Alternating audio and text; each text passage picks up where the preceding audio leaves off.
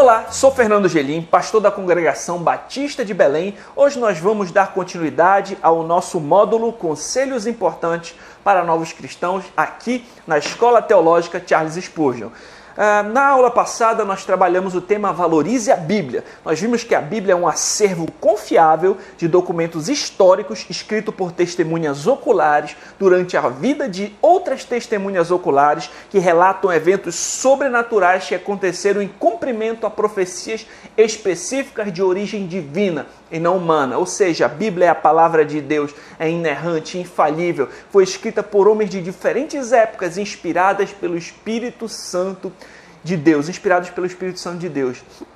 O Senhor Jesus Cristo valorizou as Escrituras, nós vimos que os apóstolos também, muitos mártires durante a história da igreja, nós vimos que a Escritura é auto-autenticadora. Quando nós lemos a Bíblia, nós entendemos que é a palavra de Deus. Nós vimos o perigo de negligenciar as Escrituras ali com o liberalismo teológico, tomar cuidado com aqueles que negam a autoridade das Escrituras. Nós vimos o exemplo da reforma protestante, o exemplo do rei Josias, do, dos berianos e muito mais.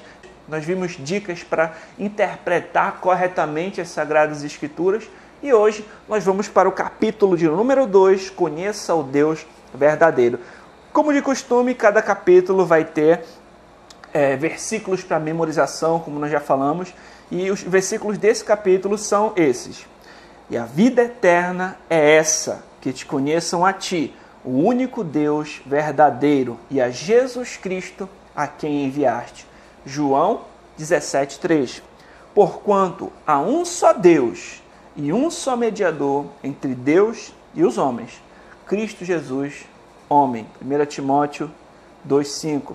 Ide, portanto, e fazei discípulos de todas as nações, batizando-os em nome do Pai, do Filho e do Espírito Santo. Mateus 28, 19. Então, no capítulo 2, nós vamos trabalhar o tema Conheça o Deus verdadeiro. Como nós já aprendemos, a Bíblia deve ser o padrão pelo qual nós vamos compreender todas as coisas, a lente pela qual nós vamos enxergar o mundo. Logo, vem a pergunta: o que, que a Bíblia nos diz a respeito da pessoa de Deus?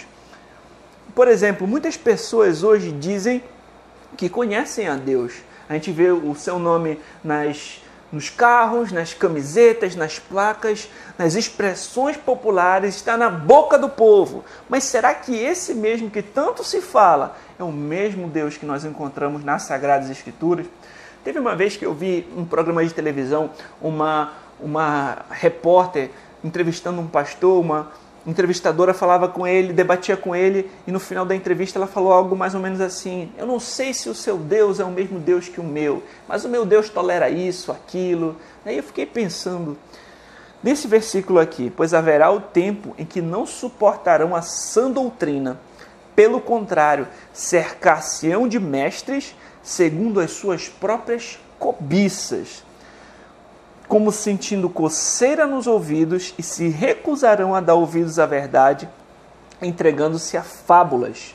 Então, nesse texto, Paulo alerta Timóteo de que nos últimos dias haveriam tempos difíceis, que os homens procurariam mestres para si de acordo com as suas próprias conveniências, de acordo com as suas próprias cobiças. Mestres esses que falariam aquilo que eles querem ouvir. Ou seja, essas pessoas estariam criando para si deuses de acordo com aquilo que lhe é conveniente, de acordo com aquilo que elas mesmo querem, desviando os ouvidos da verdade. Provavelmente era o que estava acontecendo ali naquela entrevista. Mas se muitos desviariam seus ouvidos da verdade, isso quer dizer que nem todos estão certos, como alguns pensam, né? Ah, todos os caminhos levam a Deus, está tudo certo. Não!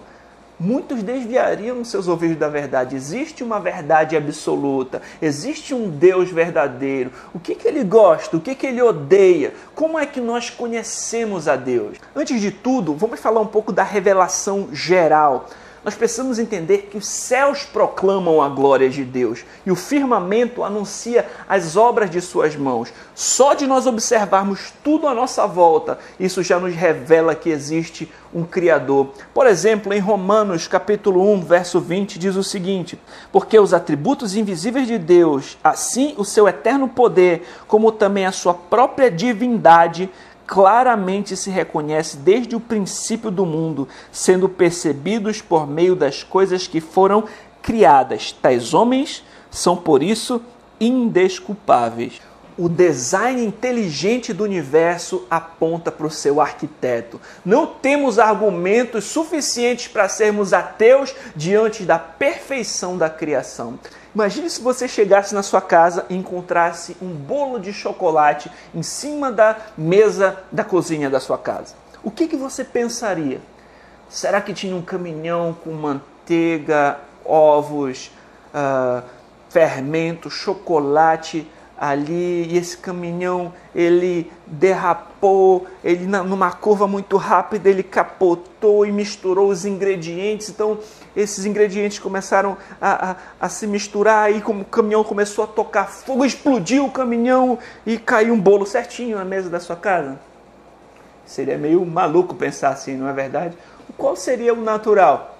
O pensamento natural? Alguém que sabe fazer um bolo, alguém que sabe os ingredientes certos, o, tempo certo, a medida certa, e fez um bolo e colocou aqui na mesa da minha casa. Isso que seria o natural. Ou seja, todas as coisas para existirem precisam de uma causa primária. Se para um simples bolo de chocolate é necessário um criador, quanto mais para um universo complexo, com galáxias, ecossistemas, plantas, animais e seres humanos complexos como eu e você. Para criar um universo complexo como esse, é necessário uma causa primária que seja onipotente, onisciente, onipresente, ou seja, Deus.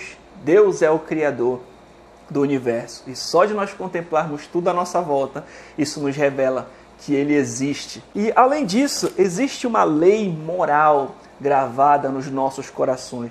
Todo ser humano, mesmo que involuntariamente, sabe que existe um padrão moral absoluto. Em todos os debates, as pessoas discutem sobre o que é justo, o que é injusto, o que é certo, o que é errado. Só podemos ter tais debates diante de um padrão moral absoluto. E esse padrão é a lei de Deus gravada nos nossos corações. O Senhor colocou uma consciência em todos nós e o padrão moral absoluto revela o Criador. O raciocínio lógico é o seguinte: se Deus não existisse, padrões morais absolutos não existiriam. Padrões morais absolutos existem, logo, Deus existe. Nessa mesma linha de raciocínio, o livro Não Tenho Fé Suficiente para Ser Ateu, de Norman Geisler e Frank Turek, diz o seguinte: Se a lei moral não existe, então não existe diferença moral entre o comportamento de Madre Teresa e o de Hitler. Do mesmo modo, afirmações como assassinar é um mal, o racismo é errado, ou você não pode abusar de crianças, não possuem significado objetivo são simplesmente opiniões de alguém expostas do lado de, de, declarações como o gosto de chocolate é melhor do que o de baunilha. De fato, sem a lei moral, termos simples carregados de valor como bom, mal, melhor e pior não teriam significado objetivo quando fossem usados no sentido moral.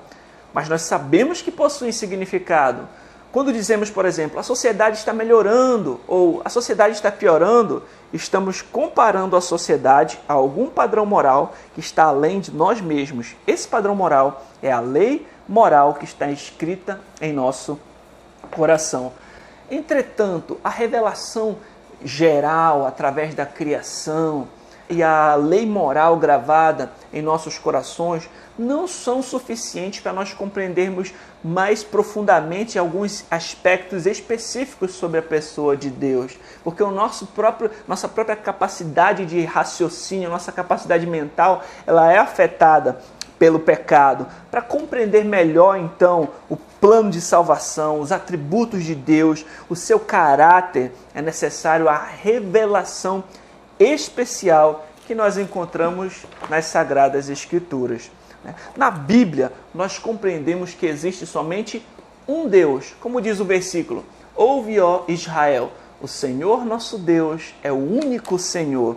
Ou quando nós lemos Êxodo 20, quando Moisés recebeu do Senhor ali os dez mandamentos, nós vemos que o Senhor, que é único, ele é um Deus zeloso e não divide a sua glória Com ninguém. Vamos ler aqui. Então falou Deus todas essas palavras. Eu sou o Senhor teu Deus, que te tirei da terra do Egito, da casa da servidão. Não terás outros deuses diante de mim. Não farás para ti imagem de escultura, nem semelhança alguma do que há em cima nos céus, nem embaixo na terra, nem das águas debaixo da terra. Não as adorarás, nem lhes dará culto, porque eu sou o Senhor teu Deus, Deus zeloso. O nosso Deus é um Deus zeloso que não divide a sua glória com ninguém. Quando nós adoramos qualquer outra coisa no lugar dele, ela se torna para nós um ídolo. E idolatria é pecado. João Calvino disse que o coração do homem é uma fábrica de ídolos, porque nós podemos adorar qualquer coisa, até aquelas coisas que não são ruins em si mesmas. Por exemplo, é, a Bíblia diz que o amor ao dinheiro é a raiz de todos os males. Nós não podemos servir a dois senhores. Nós não podemos servir ao mesmo tempo ao Senhor e a mamon, ou seja, ao dinheiro. O dinheiro não é ruim em si mesmo, mas quando o seu coração está nele, quando ele toma a primazia da sua vida, ele se torna para você um ídolo. E nós temos que examinar as nossas vidas, porque qualquer coisa pode se transformar num ídolo. Uma pessoa pode idolatrar um pedaço de madeira, uma pessoa pode idolatrar uma imagem, uma pessoa pode idolatrar uma pessoa. Nós podemos idolatrar até mesmo nós mesmos e a nossa própria reputação. Então nós temos que examinar o que tem roubado o lugar do Senhor em nossas vidas. Abandonar esses ídolos e adorar somente o único Deus verdadeiro que é digno de honra, glória, louvor e adoração. Um exemplo fantástico que nós encontramos a respeito disso encontra-se no livro de Daniel. Ali nós vamos encontrar um relato que diz que Sadraque, Mesaque e Abednego se recusaram a adorar a estátua construída pelo rei Nabucodonosor. O rei Nabucodonosor tinha construído uma estátua enorme e todas as pessoas, ao ouvirem os instrumentos musicais, o som da cítara, da harpa, todos aqueles instrumentos musicais, tinham que se prostrar e adorar o ídolo construído por ele. Mas três jovens servos de Deus Sadraque, Mesaque e Abednego se recusaram a adorar esse ídolo, entendendo que o único Deus verdadeiro somente é digno de adoração. E a consequência disso é que eles seriam lançados numa fornalha ardente. Eles preferiam morrer do que adorar outro, senão um único Deus verdadeiro. Eles sabiam que Deus poderia livrá-los, mas mesmo que eles, que o Senhor não os livrasse, que eles morressem, eles preferiam morrer do que não, do que adorar um ídolo. E de fato eles foram lançados na fornalha, mas o Senhor salvou eles e teve o seu nome glorificado. Além disso, meus irmãos, nós temos que observar os atributos de Deus. O único Deus verdadeiro tem vários atributos que nós temos que observar.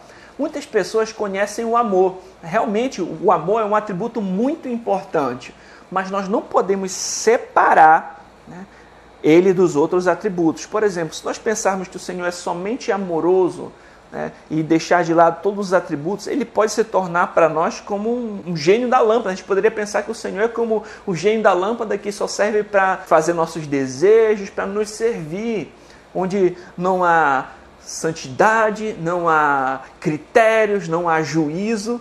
Então é muito perigoso né, nós negligenciarmos o estudo dos atributos de Deus, para nós conhecermos, termos uma, uma noção melhor do nosso Senhor, é importante nós observarmos alguns outros atributos, observarmos o, o que mais as Escrituras também falam a respeito dele.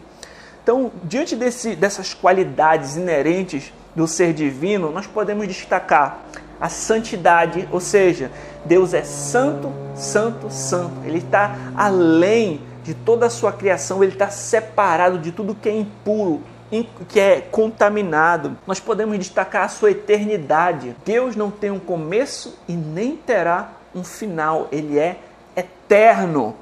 Nós podemos observar a sua soberania. Todas as coisas acontecem sob o seu domínio. A sua vontade sempre vai prevalecer. Nós podemos entender que Deus ele é o criador, ele é criador e dono de todas as coisas. Ele nos criou e ele é o nosso dono. Ele é sustentador. O universo inteiro é sustentado pela palavra do seu poder. Ele é onipresente. Ele está em todos os lugares. Não adianta tentar fugir da presença de Deus, é impossível. É, tem pessoas que, que querem ser uma coisa né, quando estão com os irmãos da igreja e outra coisa fora. Não faz sentido. Deus está em todos os lugares. Não adianta. É, Deus é autossuficiente, ou seja, Ele não precisa de nós para existir ou para se completar. Ele não é servido por mãos humanas. Né? Ele é onisciente, ele sabe de todas as coisas, até mesmo o que você está pensando nesse exato momento e quantos fios de cabelo tem na sua cabeça. Ele é onipotente, ele é todo poderoso, não tem nada que seja difícil para o nosso Deus. Então existem muitos outros atributos que nós poderíamos mencionar. Ele é misericordioso, as suas misericórdias são a causa de nós não sermos consumidos. Ele é bondoso, tudo que Deus faz é bom. Mesmo que nós não compreendamos de imediato, ele é relacional, ele se relaciona com pessoas pequenas como nós. Deus é espírito, importa que os seus adoradores o adorem em espírito e em verdade, né? entre muitas outras características. Diante disso, mergulhe nas Escrituras para conhecer mais o Senhor, na vastidão dos seus atributos, aprender mais como é a pessoa do nosso Deus, para nós conhecermos o Senhor e nos relacionarmos de forma mais adequada com Ele. À medida que nós conhecemos os atributos de Deus revelados nas Escrituras, isso também deve impactar a forma com a qual nós nos relacionamos com Ele. Por exemplo, nós entendemos que Deus é santo, santo, santo, e a Escritura vai nos dizer: sede santos, porque eu sou santo. Se nós entendemos que Deus é fiel, nós podemos confiar nele. Deus é onisciente, é muito melhor confiar na sabedoria dele do que no nosso próprio intelecto limitado, e por aí vai. Né? Nós devemos, diante de um Deus Criador, adorá-lo, glorificá-lo, de um Deus tão glorioso, prestar culto, honra, louvor. Além disso, meus irmãos, todo cristão precisa saber a respeito da triunidade de Deus. O nosso Deus, que é único, também é trino. Ou seja, três pessoas nas Sagradas Escrituras são chamadas de Deus. O Pai, vamos abrir aqui 2 Coríntios 1,3. Bendito seja o Deus e Pai de nosso Senhor Jesus Cristo o Pai das misericórdias, o Deus de toda consolação. O Pai é chamado de Deus. João, capítulo 1, vamos observar aqui. No princípio era o Verbo, o Verbo estava com Deus e o Verbo era Deus. Aqui o Verbo falando a respeito de Cristo. O Verbo se fez carne, o Verbo encarnado. Então, o Pai é chamado de Deus, o Filho é chamado de Deus. No princípio era o Verbo, o Verbo estava com Deus e o Verbo era Deus, o Filho é chamado de Deus e o Espírito Santo também é chamado de Deus. Vamos observar aqui em Atos, capítulo 5, do 3 ao 4. Então disse Pedro, Ananias, por que encheu Satanás teu coração para que mentisses ao Espírito Santo, reservando parte do valor do campo, conservando porventura não seria teu, e vendido não estaria em teu poder? Como, pois, assentaste no coração este desígnio? não mentistes aos homens, mas a Deus. Ananias tinha mentido ao Espírito Santo e Pedro disse que Ananias mentiu a Deus.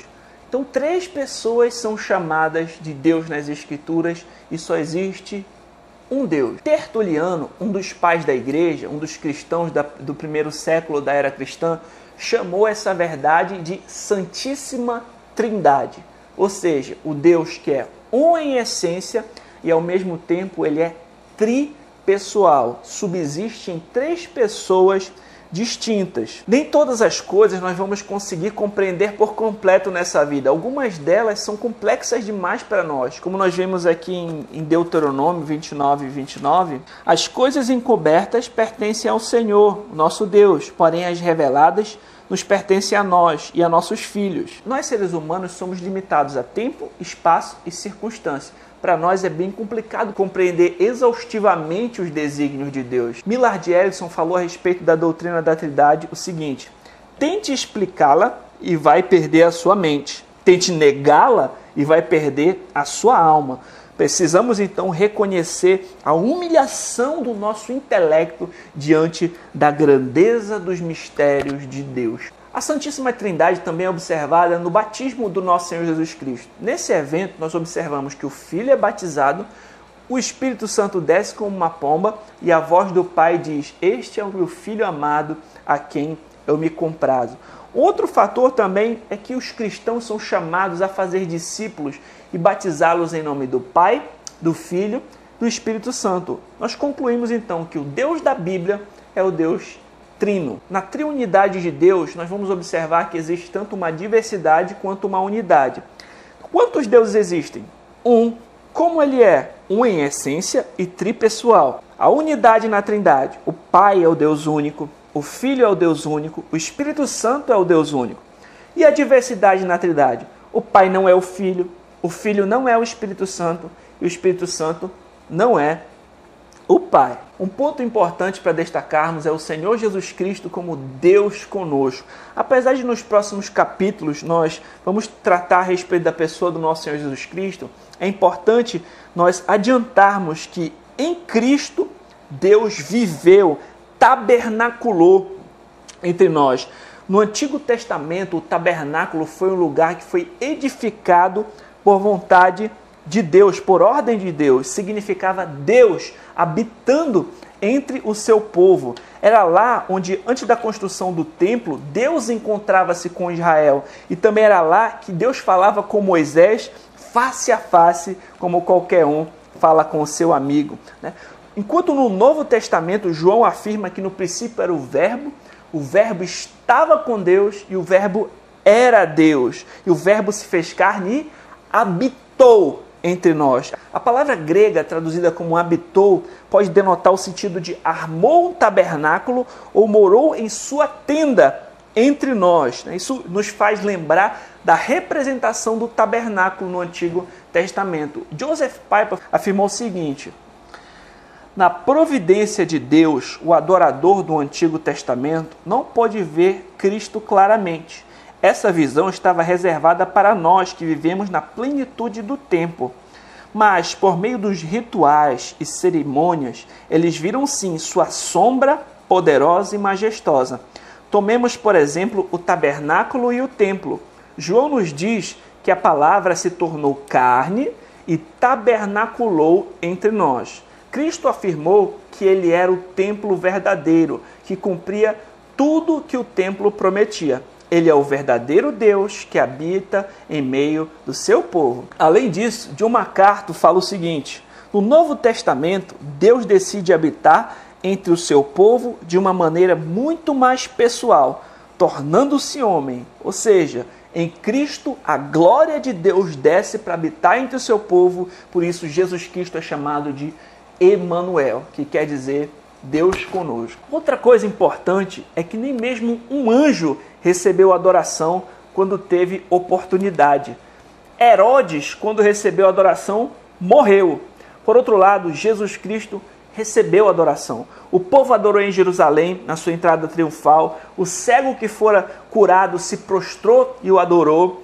Tomé o chamou de Senhor meu e Deus meu após ver o Cristo ressurreto. Todos esses relatos bíblicos nos mostram que Cristo Jesus sabia exatamente quem ele era. Ele realizou feitos que o poder humano jamais poderia realizar. Vamos observar: Jesus Cristo andou sobre as águas, a gente vê isso em Mateus 14, do 22 ao 23, multiplicou pães e peixes em Marcos 6, do 31 ao 34, deu vista aos cegos, Mateus 20, do 29 ao 34, ressuscitou os mortos, Lucas 8, do 40 ao 56 e João 11. Foi ressuscitado dos mortos, visto por muitas testemunhas oculares, 1 Coríntios 15, 6, e foi assunto aos céus, Lucas 24, 50 ao 53. Né?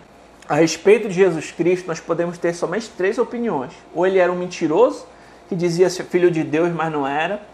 Ou ele era um lunático, que acreditava que era mesmo e estava louco, ou de fato ele era quem afirmou ser. C.S. Lewis falou algo brilhante sobre esse assunto. Ele disse: Somos confrontados então com uma alternativa assustadora. Ou esse homem de quem estamos falando era e é o que dizia ser, ou era um lunático ou coisa pior. Ora, parece-me óbvio que ele não era nem um lunático, nem um demônio. Consequentemente, por mais estranho, assustador ou insólito que pareça, tenho de aceitar a ideia de que ele era e é Deus. Aleluia. Meus irmãos, claro que aqui nós tivemos apenas um breve comentário menor do que um pingo d'água no oceano, porque descrever nosso Deus exaustivamente é impossível. Ele é indescritível e infinito, mas nós tentamos abordar aqui alguns assuntos que são indispensáveis e essenciais. Vamos para as nossas dicas práticas. Diante de tudo isso, nós precisamos examinar se tem ídolos que precisam ir embora das nossas vidas. Nós vivemos em função de quê? Aonde está a nossa alegria? Onde está a nossa confiança? Examine se tem outro roubando o lugar do Senhor na sua vida. Abandone esses ídolos e ame ao Senhor acima de todas as coisas. Ele é o Rei dos Reis, o Senhor dos Senhores, o Criador do universo, nosso dono, sustentador. Não confie no seu próprio intelecto, confie no Senhor. Ame-o, confie nele, adore-o, porque ele é o nosso sustentador, nosso dono, principalmente nosso Senhor e Salvador. A salvação vem do Senhor. Temos algumas indicações de livros também sobre esse assunto. O Único Deus Verdadeiro, Paul Washer, Teologia Sistemática, Wayne Gruden, Teologia Sistemática, Frank Ferreira e Alan Might, é, Adalto Lourenço, Design Inteligente, Palestras em Vídeo, Cristianismo Puro e Simples, C.S. Lewis, Não Tenho Fé Suficiente para Ser Ateu, Norman Geisler Frank Turek. Doutrinas abordadas, Teologia propriamente dita, a doutrina de Deus e a Trindade. Então hoje nós estudamos sobre o tema Conheça o Deus Verdadeiro. Nós vimos a respeito da revelação geral que os céus proclamam a glória de Deus, o firmamento anuncia as obras de suas mãos, que os atributos invisíveis de Deus e o seu eterno poder são manifestos a nós através das coisas que são criadas. Nós vimos que existe uma lei moral no coração de todos os seres humanos, existe um padrão moral absoluto que também revela o Criador nós vimos que a revelação especial nas Sagradas Escrituras, nós entendemos que só existe um Deus, ele não divide a sua glória com ninguém, qualquer coisa que nós adoramos no lugar dele é um ídolo, idolatria é pecado. Nós vimos os atributos desse Deus, ele é amoroso, bondoso, fiel, onipotente, onipresente, santo, soberano, eterno, justo, por aí vai. E nós vimos também a triunidade desse Deus, o Deus verdadeiro é o Deus que é uno e trino, só existe um Deus e ele é um em essência e tripessoal, uma essência divina que subsiste em três pessoas distintas, o Pai, o Filho e o Espírito Santo, três pessoas na Bíblia que são chamadas de Deus, contudo, só existe um Deus, nós chamamos isso de Santíssima Trindade. Nós vimos Jesus Cristo como Deus conosco, é ele que no princípio era o Verbo, estava com Deus e era Deus, o Verbo se fez carne e habitou entre nós, usando a mesma palavra que representava ali o tabernáculo no Antigo Testamento, né, da habitação de Deus entre o seu povo. Vimos que ele de fato é o próprio Deus encarnado, Emmanuel, Deus conosco. E na próxima aula nós vamos trabalhar o tema Busque compreender corretamente o Evangelho de Cristo. Não perca, aguardo vocês, até a próxima. Deus abençoe. Tchau.